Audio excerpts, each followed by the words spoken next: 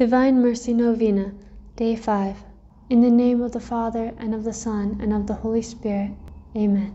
Today bring to me the souls of those who have separated themselves from my Church, and immerse them in the ocean of my mercy. During my bitter passion, they tore at my body and heart, that is, my Church. As they return to the unity with the Church, my wounds heal, and in this way they alleviate my passion. Prayer.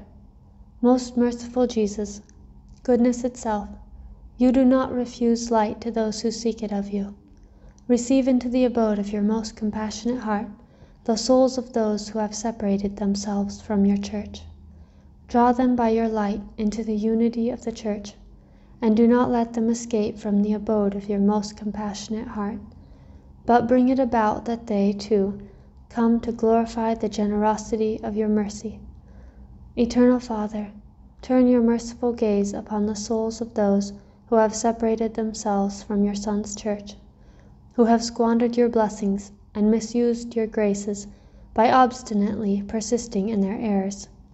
Do not look upon their errors, but upon the love of your own Son and upon his bitter passion, which he underwent for their sake, since they too are enclosed in his most compassionate heart. Bring it about that they also may glorify your great mercy for endless ages. Amen.